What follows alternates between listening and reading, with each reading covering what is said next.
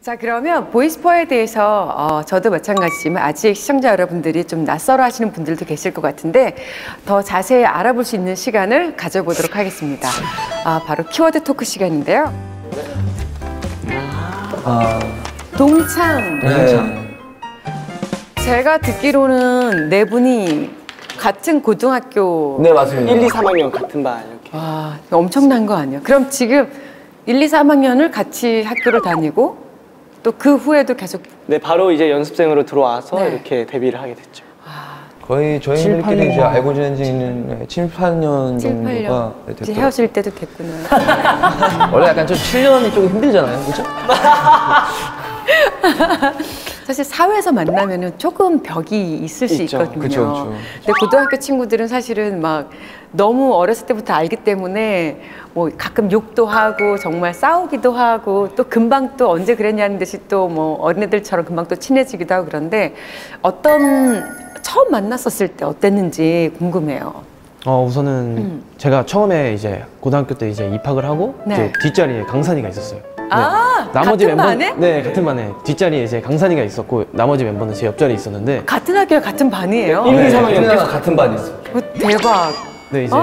옆 좌석에 이제 광홍한테는 번호를 물어보고 이제 대강이한테 물어봤는데 뒷 좌석에 이제 강산이 딱 보고 아 안 되겠다 얘는 아. 너무 좀 이렇게 좀 덩치도 있고 좀 네. 이렇게 이렇게 생겨서 네. 어, 그때는 강산 씨가? 강산이한테는 번호를 안 물어봤었어요. 왜냐면 아, 지금 진짜? 강, 강산이가 이렇게 되게 말랐잖아요. 네. 근데 고등학교 때 당시에는 그래도 어느 정도 덩치도 있고 아. 뭔가 헤어스타일도 지금 이렇게 멋있지만 그 투블럭 지금도 정말 쎄해, 저그 노란 칼 머리. 같은 투블럭이 엄청난 공포 분위기를 한때 조성을 했었거든요. 아. 아, 자꾸 그렇게 하지 마세요. 아니 근데 어, 웅산 씨가 말수가 적었다면 네. 약간 좀 이렇게 친구들이 약간 카리스마 때문에 어려워했을 수도 있었을 것 같아요. 초반에 그래서 친구들이 저는 제가 왕따인 줄 알았어요, 사실.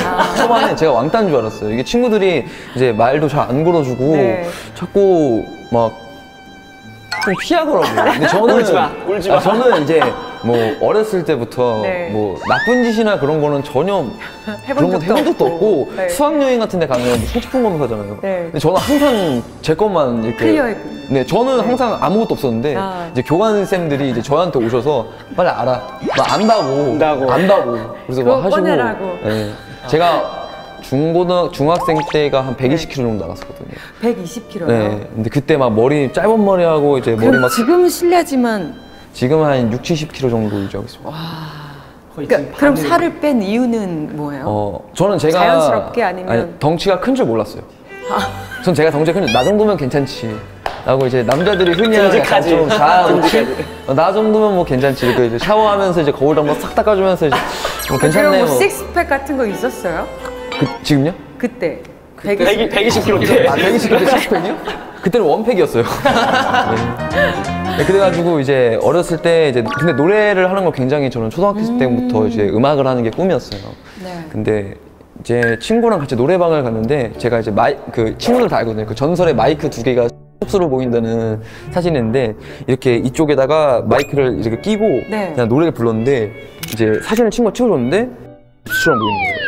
그 마이크. 네, 막, 마이, 마이크가. 네. 그래서 이제 친구들이 다 이제 보고 저한테 보내줬는데 뭐예요? 사탕? 아 사탕이요 사탕 사탕 네, 막대 사탕 아? 네 막대 사탕 근데 막대 사탕을 이제 손가락에 끼고 노래 부르는 것 같다라고 하는 거예요 그래서 네. 저도 친구한테 이제 사진을 받았는데 음. 제가 너무 뚱뚱해 보이는 거예요 아, 사탕에 비해서. 네 제가 너무 네. 뚱뚱한 거예요 아, 사진에 비친 네. 제가 그래서 그때부터 좀 충격을 먹고 이제 아, 네. 그러니까 그 마이크가 작아 보였다는 얘기인 거죠? 네, 그쵸, 그쵸. 마이크가 사탕처럼 작아 보였다는 거죠. 아, 나는 진짜 사탕을 얘기하는 건데. 뭐지? 아, 그래서 다이어트를 하게 되신 네, 거구나. 그때부터 이제 다이어트. 그러면은 이 멤버가 고등학교 때부터 지금 활동을 같이 쭉 해오신 건가요? 사실 처음에는 이제 네. 강산이가 먼저 팀을 만들자고 제안을 해서 네. 광호 빼고 이렇게 세 명이랑 이제 후배님들이 이렇게 같이 학교 후배들이랑 팀을 꾸려서 하다가 음. 광호는 저희가 이제 고등학교 3학년 때 졸업 공연이 있는데 그때 뭔가 목소리 하나가 더 추가됐으면 좋겠다. 아. 마치 이제 브라운 아이드 소울 선배님처럼 네. 아. 음. 그렇게 밑둥이 하나 있었으면 좋겠다 했는데 이제 광호를 저희가 선택을 했는데 네.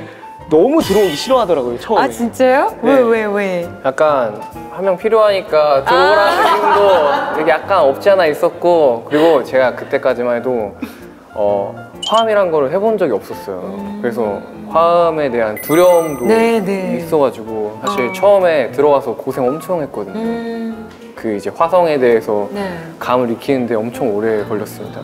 진짜 어려웠을 거야. 근데 이 그러면 이 팀을 처음 모은 사람은 누구야? 제가 강산 씨가. 네. 하, 역시 카리스마. 아 그건 아니고요. 카리스마라 너너 너. 아, 강압적 강, 절대 강압적으로 하지 않았습니다.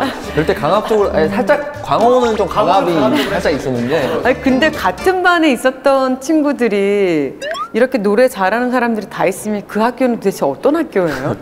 아, 너무 어메이징한 좀거 많이 어렸을 때보다 많이 늘었어요. 아. 네, 실력들이 연습도 하고 이제 지금은 책임감이라는 걸 갖고 이제 네. 음악을 하고 연습을 하기 때문에 음. 어렸을 때보다 많이 좋아진 실력으로 이제 해서 좀 사람들이 어, 그 학교에는 노래 잘하는 친구 되게 많았나 봐라고 생각하셔서 많이 해주시는 것 같아요.